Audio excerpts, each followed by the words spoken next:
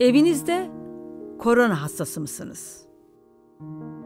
Evde yaşayan herkes ellerini günde birkaç kez sabunla iyice yıkamalıdır. Hasta yalnız olarak kesinlikle odasında kalmalıdır.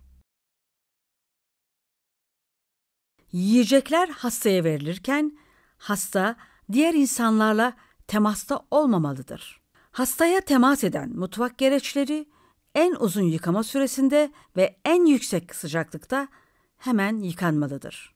Bunun yanı sıra hasta odasındaki nesnelerle temas eden bütün şeylerin ve bunun ardından ellerin iyice yıkanması gerekir.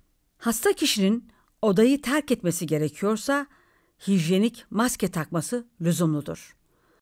Hasta tuvaleti kullandıktan sonra mesela çamaşır suyu veya diğer temizlik deterjanları ile dezenfekte etmelidir.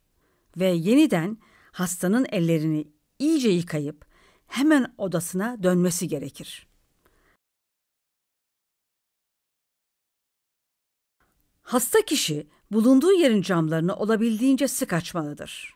Kirli çamaşırlar diğerlerinin çamaşırlarından ayrı plastik bir torba içinde toplanmalı ve mümkün olan en yüksek ısıda ayrıca yıkanmalıdır. Aslında uygulaması çok kolay ama kolayca da unutulabiliyor. Bu nedenle hijyen kurallarını akılda tutmak önemlidir. Daha fazla enfeksiyondan kaçınmanın tek yolu budur. Ailenizi veya tanıdıklarınızı arayın veya onlara mesaj yazın.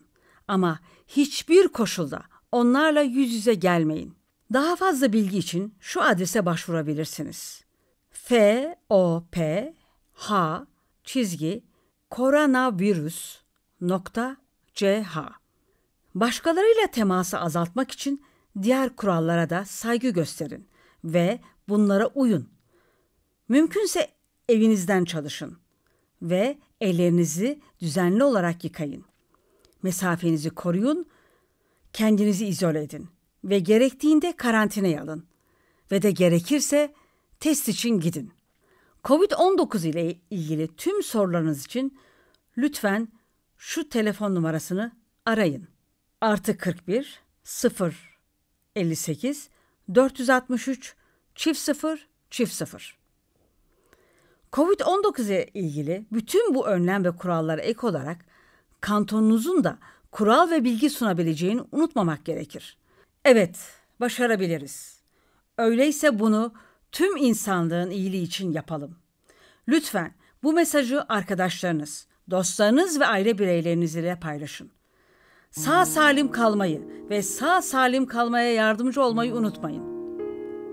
Teşekkür ederim.